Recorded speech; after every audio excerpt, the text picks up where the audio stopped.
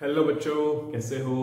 बहुत बढ़िया very good okay तो हम चैप्टर दो कर चुके हैं। सबसे पहले हमने किया मैटर इन आवर सराउंडिंग्स फिर हमने किया is matter around the pure पहले में हमने जाना मैटर क्या होता है, फिर हमने जाना कि क्या मैटर प्योर होता है कि नहीं होता। अब हम जो चैप्टर पढ़ने वाले हैं, उसमें ये जानेंगे कि मैटर किन पार्टिकल्स से मिलके बना होता है और उन पार्टिकल्स को हम क्या नाम देते हैं। तो चैप्टर का नाम हमारे पास है एटम्स एंड मोलिक्यूल्स। ये क्या होते हैं, इनके बारे में जानने से पहले हमें थोड़ा हिस्ट्री में जाना पड़ेगा, बैकग्राउंड चेक करना पड़ेगा। तो बैकग्राउंड में किन किन लोगों ने क्या क्या काम किया, वो देखते हैं। तो अपनी स्क्रीन पर देखिए। तो जो खास ध्यान दिया गया, वो दिया गया ancient Indian philosophers and Greek philosophers में तो इन दोनों ने खास ध्यान दिया मैटर के ऊपर। सबसे पहले अराउंड 500 हंड्रेड बीसी महर्षि कनन, उन्होंने ये कहा कि अगर हम मैटर जिन्हों, उनको, उन्होंने मैटर को पदार्थ कहा वहाँ पे तो अगर हम पदार्थ को डिवाइड करते हैं, उसको छोटे छोटे टुकड़ों में तोड़ते जाते हैं, तोड़ते जाते हैं और तोड़ते जाते हैं तो हम एक ऐसे पॉइंट तक पहुँचेंगे जहाँ पे हम उसे और तोड़ नहीं सकते। तो उस स्मॉलेस्ट पार्टिकल को महर्षि ने परमाणु का नाम दिया। ठीक है? उसी समय लगभग इंडियन फिलोसोफर पकुधा कत्यायामा ने यह कहा कि ये जो परम अणु है, इन्हीं को तरह तरह से जोड़कर हम अलग अलग तरह की स्टेट्स ऑफ़ मैटर बता सकते हैं। ये कहते हैं दीज दीज कौन? परमाणु। These exist in combined states to form various form of matter जैसे कि solid liquid gas and plasma तो यही परमाणु अलग अलग तरह से जुड़कर अलग अलग मैटर की स्टेट्स को जन्म देते हैं। फिर लगभग उसी समय, उसी एरा में Greek philosopher Democritus and Leucippus ने हमें यह कहा, जो महर्षि कनंद ने कहा एज इट इज़ कि अगर हम मैटर को स्मॉलेस्ट पार्टिकल में तोड़ते जाते हैं तो हमें एक अल्टीमेटली एक बिल्कुल स्मॉल पार्टिकल मिलेगा, और उस स्मॉल पार्टिकल को इन दोनों ने नाम क्या दिया? एटम्स तो जो महर्षि कनंद ने इसको परमाणु कहा, उसी को इन दोनों ने एटम का नाम दे दिया। तो ये था कुछ हिस्ट्री के बारे में। अब, आगे जानते हैं, उससे पहले आप ये नोट कर लेंगे।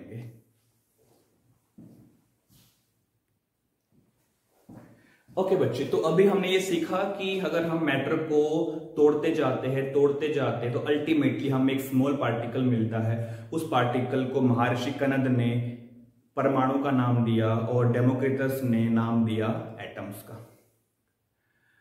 लेकिन कुछ लोग इंटरेस्टेड थे कि वो जो स्मॉल पार्टिकल्स है, वो कंबाइन करके जब नए पार्टिकल बनाते हैं तो कौन से लॉज को फॉलो करते हैं? कौन से लॉ उन पे एप्लीकेबल होते हैं? तो उस पर ज़्यादा काम किसने किया? उस पर ज़्यादा काम किया एंटनी एल लेवोइजियर ने। इन्होंने फाउंडेशन दी। किसकी फाउंडेशन दी? इन्होंने फाउंडेशन दी केमिकल साइंस मतलब जो हम केमिस्ट्री आज पढ़ रहे हैं, उनका ज़्यादा श्रेय इन्हीं को जाता है। तो इन्होंने फाउंडेशन रखी केमिकल साइंसेस की। इन्होंने कौन कौन से दो लॉज दिए? वो बहुत ही इंपॉर्टेंट बहुत ही क्रूशियल लॉ है। कौन कौन से है? इन्होंने पहला लॉ दिया law of conservation of mass दूसरा इन्होंने लॉ दिया। Law law of constant constant को हम डेफिनेट भी कह देते हैं मतलब फिक्स होता हूँ प्रोपोर्शन तो ये दो खास नियम हैं जिन नियमों के अनुसार एलिमेंट्स जुड़ के कंपाउंड बनाते हैं। ठीक है? अब जरा जानते हैं एक एक करके इन नियमों के बारे में, इन लॉस के बारे में। ठीक है? सबसे पहले पता करते हैं law of conservation of mass के बारे में। तो ये लॉ क्या कहता है? बहुत सिंपल है ये नियम, ये कहता है matter can neither be created nor be destroyed मतलब जैसे यहाँ पे चौक है, इस चौक को आप बिल्कुल खत्म नहीं कर सकते। मतलब ये चौक को अगर आप तोड़ेंगे तो पाउडर बन जाएगा। पाउडर को और पीसेंगे तो और फाइन पार्टिकल्स बन जाएँगे। लेकिन ऐसा आप कभी नहीं कर सकते कि ये चोक हवा में ही वैनिश हो जाए। उसी तरह आप किसी भी चीज़ को बना नहीं सकते। मतलब मेरे पास कुछ भी नहीं है और कुछ भी नहीं से मैं चौक नहीं बना सकता। ठीक है? समझे बात ना? कि ना तो हम कुछ भी नहीं से कुछ बना सकते हैं और ना ही हम कुछ से कुछ भी नहीं कर सकते। दैट मीन्स अगर हमारे पास कुछ भी नहीं है, अगर हमारे पास नथिंग है तो नथिंग से समथिंग नहीं कर सकते। वी कांट डू दैट और अगर हमारे पास समथिंग है तो उस समथिंग को नथिंग में भी चेंज नहीं कर सकते। ये है पहले नियम का सार, उसका एसेंस इसको डिफाइन कैसे करेंगे? डिफिनेशन क्या है इसकी? That matter can neither be created nor be destroyed हाँ हम इसकी सिर्फ़ फॉर्म को चेंज कर सकते हैं। जैसे कि मेरे पास चौक है तो चौक को मैं ब्रेक कर सकता हूँ डिफरेंट साइज़ के पार्टिकल में।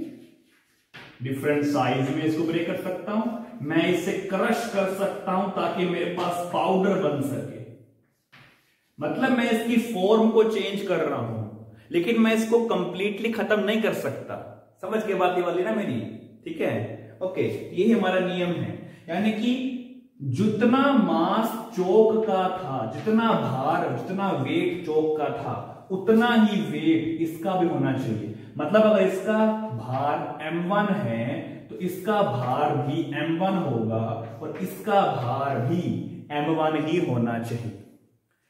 कि मास कांस्टेंट रहेगा हर स्टेट में, हर फॉर्म में। तो अगर मेरे पास कोई रिएक्टेंट है और रिएक्टेंट से मैं कुछ प्रोडक्ट बनाता हूँ तो जो मास रिएक्टेंट का है, उतना ही मास प्रोडक्ट का भी होगा।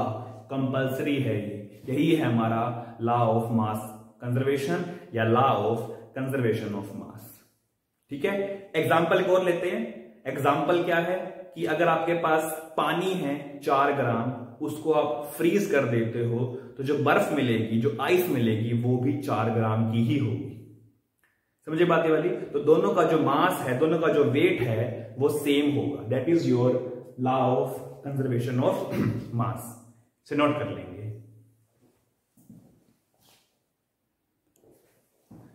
तो चलिए बच्चे, कुछ एग्जाम्पल्स की बात करते हैं। उन एग्ज़ाम उन एग्जाम्पल्स के ज़रिए हम ये प्रूफ करते हैं कि हमारा जो लॉ है, वो ठीक है। जैसे मान लीजिए कि मेरे पास कार्बन है। कार्बन मतलब एलिमेंट है इसका सिंबल सी होता है। कार्बन को ऑक्सीजन के साथ रिएक्शन करवाई गई और मुझे मिलता है कार्बन डाइऑक्साइड सीओ ठीक है? कार्बन का जो मास होता है, वो 12 होता है। ऑक्सीजन का मास होता है 32 तो इस तरफ़ जो मास है वो 44 हो गया। अगर मैं यहाँ पर भी मास कैलकुलेट करता हूँ, कितना आएगा? कार्बन का 12 ऑक्सीजन का 32 तो यहाँ पर भी 44 आ रहा है। इस साइड को मैं रिएक्टेंट कहता हूँ। लेफ़्ट साइड को क्या कहते हैं? रिएक्टेंट और राइट साइड को हम प्रोडक्ट कहते हैं।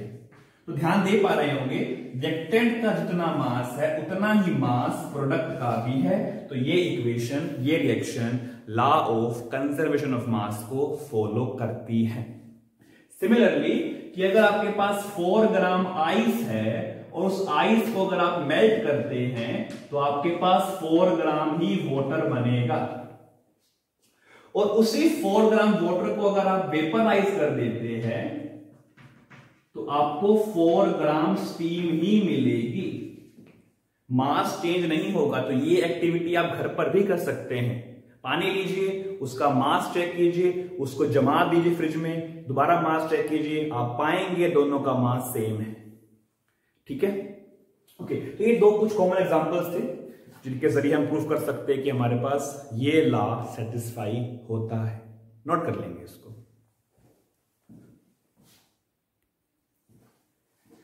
तो चलिए बच्चे, अब अपने सेकंड नियम सेकंड लॉ की तरफ़ बढ़ते हैं। सेकंड लॉ हमारे पास है law of constant slash definite proportion constant क्या होता है? जिसकी क्वांटिटी चेंज ना हो, उसे कहते हैं कांस्टेंट कि मान लीजिए कि आपके पास चार कंचे हैं और आप उन कंचों को एक कंटेनर में बंद करके लॉक कर देते हैं।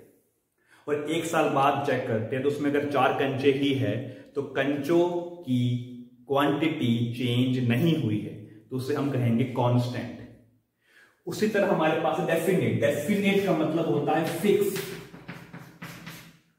फिक्स कर दिया हमने कि मैंने कहा कि मैं डेफिनेटली चार बजे क्लास लूँगा। तो मैं चार बजे ही क्लास लूँगा ये डेफिनेट ये फिक्स हो गया है। समझे बातें वाली? तो इस लॉ में हम किस चीज़ को कांस्टेंट करेंगे? और किस चीज़ को डेफिनेट करेंगे, हमें वो चेक करना है यहाँ पर हम जिस चीज़ को फिक्स करने वाले हैं, वो चीज़ है मास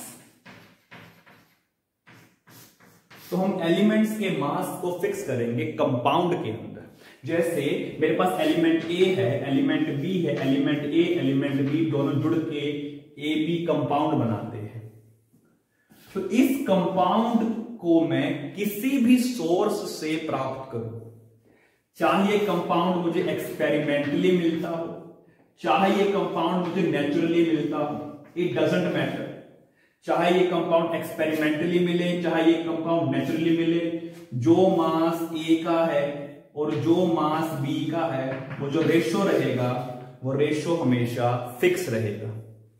इट डजेंट मैटर कि हमें वो कहाँ से मिल रहा है। जैसे मैं एग्जांपल लेता हूँ। एग्जांपल लेना बहुत ज़रूरी है। कार्बन प्लस ऑक्सीजन मुझे मिलता है कार्बन डाइऑक्साइड तो कार्बन डाइऑक्साइड पाने के कितने सोर्स है? ब्रीद आउट करो CO2 बाहर निकलेगी। पेपर को बर्न कर दो CO2 बनेगी। कोयले को बर्न कर दो CO2 बनेगी। और क्या है? रेस्पिरेशन है CO2 बनेगी। ठीक है? तो बहुत सारे हमारे पास ऐसे सोर्स है जिसके ज़रिए हम CO2 गैस को प्राप्त कर सकते हैं, उसे अटेन कर सकते हैं। तो जो CO2 गैस मुझे मिल रही है, उस CO2 गैस में कार्बन भी है ऑक्सीजन भी है। तो कार्बन और ऑक्सीजन का मास फिक्स रहेगा। इट डजेंट मैटर कि CO2 मुझे कहाँ से मिल रही है।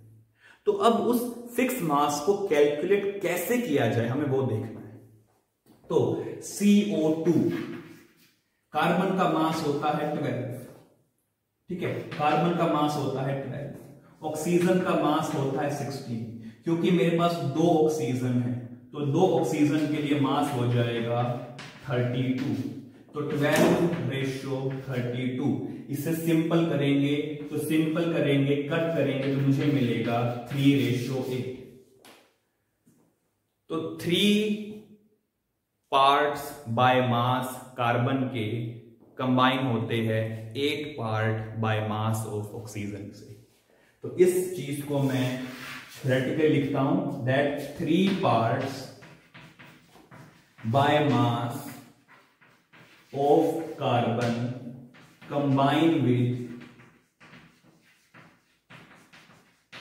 eight part by mass of oxygen ये मतलब है स्टेटमेंट का। अब थ्री पार्ट बाय मास का मतलब क्या है? कि अगर मैं इसको और सिंप्लीफाई करता हूँ तो तीन ग्राम कार्बन आठ ग्राम ऑक्सीजन से कंबाइन करके CO2 बनाएगा। तीन किलोग्राम कार्बन आठ किलोग्राम ऑक्सीजन से कंबाइन करके CO2 बनाएगा। मतलब वो तीन और आठ वही रहेगा। हम सिर्फ़ यूनिट्स को चेंज कर सकते हैं। कि पहले मैंने तीन ग्राम का तीन किलोग्राम कर दिया तो आठ ग्राम का मैंने आठ किलोग्राम कर दिया। अब अगर मैं आठ ग्राम का आठ मिलीग्राम कर देता हूँ तो तीन ग्राम का मुझे तीन मिलीग्राम ही करना पड़ेगा। कि यूनिट्स हमारी मैच होनी चाहिए और वो नंबर हमारा फिक्स रहेगा, वो नंबर हमारा डेफिनेट रहेगा, कांस्टेंट रहेगा। समझे बात ये वाली? Let me take let me write it also लिखने से बेहतर समझ में आता है। तो ध्यान देंगे आप एक बार कि तीन ग्राम कार्बन कंबाइन करेगा आठ ग्राम ऑक्सीजन से ताकि मुझे मिल सके सीओ टू तीन किलोग्राम कार्बन कंबाइन करेगा आठ किलोग्राम ऑक्सीजन से ताकि मुझे मिल सके सीओ टू ध्यान दे पा रहे हो? तीन तीन, आठ आठ। तो ये हमने फिक्स कर दिया डेफिनेट कर दिया। हम सिर्फ़ यूनिट को चेंज कर रहे हैं। सिमिलरली तीन मिलीग्राम कार्बन कंबाइन करेगा आठ मिलीग्राम ऑक्सीजन से, ताकि मुझे CO2 मिल सके। ये तीन और आठ फिर से आ गया। तो ये रेशो बाय मास हमने फिक्स कर दिया। समझ गए सब बात ये वैल्यू तो अब इस को हम डेफिनेशन वाइज लिख के दिखाएँगे। इसे नोट कर लेंगे। ओके बच्चे, अपने स्क्रीन पर सब देखिए, मैंने डेफिनेशन लिख दी है। वो क्या है? वेन टू और मोर एलिमेंट्स टू एलिमेंट लेते हैं A plus B when two और more element combine to form a compound combine to form a compound the ratio of mass of each element इसका मास एक्स इसका मास Y तो ratio बन गया X ratio Y तो ratio of mass of each element will be fixed will be in fixed whole number तो x और y हमारे पास क्या रहेंगे? होल नंबर रहेंगे और ये नंबर फिक्स रहेगा। No matter what the source और यूनिट्स आर कि यूनिट और सोर्स क्या होंगे, उससे मैटर नहीं करता। जैसे कि x ग्राम a कंबाइन करेगा y ग्राम b के साथ। यूनिट ग्राम है। X मिलीग्राम ए कंबाइन करेगा y मिलीग्राम बी के साथ। मैंने यूनिट चेंज कर दी पर जो रेशो था, वो x रेशो y ही रहा। तो यूनिट्स मैटर नहीं करती यहाँ पे। सोर्स भी मैटर नहीं करता। चाहे ए मुझे मिले लैब से, चाहे ए मुझे मिले नेचर से, उससे फ़र्क नहीं पड़ता। ए बी में जो मास का रेशो है, वो फिक्स रहेगा। समझे बात सभी वाली? नोट कर लेंगे इसको।